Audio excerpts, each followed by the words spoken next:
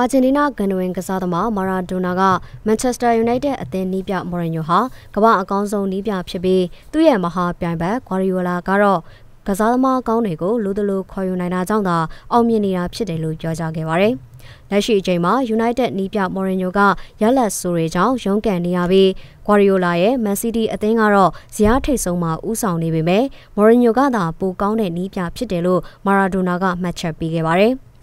မာရာဒိုနာကကျွန်တော်အတွက်တော့မော်ရင်ညိုကအကောင်းဆုံးနေပြပါဂွာရီယိုလာကိုတော့တီကီတာကာကိုအမွေဆက်ခံနိုင်ခဲ့လို့ကျွန်တော်အမြဲချီးကျူးပါရယ်ဒါပေမဲ့ဒီကစားပုံကသူ့တီထွင်းခဲ့တာမဟုတ်ဘူးဂျိုဟန်ခရိုက်တီထွင်ခဲ့တာပါဒီအချိန်မှာဂွာရီယိုလာကသူ့လိုချင်တဲ့ကစားသမားကိုအလွယ်တကူခေါ်ယူနိုင်တယ်အဲဒါကြောင့်လဲတီကီတာကာကပုံမအောင်မြင်နေတာပေါ့လို့ပြောကြားခဲ့ပါတယ် ဒါအပြင်မာရာဒိုနာကသူ့အနေနဲ့နီးစနစ်ပိုင်းတွေမှာတိုးတက်လာဖို့လိုနေသေးတဲ့အတွက်မန်ချက်စတာကိုသွားပြီးမော်ရီညိုစီမှာတင်ယူစရာတွေရှိနေသေးတယ်လို့ဆိုခဲ့ပါတယ်။လက်ရှိအချိန်မှာ Manchester United အသင်းဟာအမှတ်ပေးဇယားအဆင့်၈နေရာမှာရပ်တည်နေပြီးဇယားထိပ်ဆုံးက Man City အသင်းနဲ့12မှတ်အထိကွာဟနေတာဖြစ်ပါတယ်။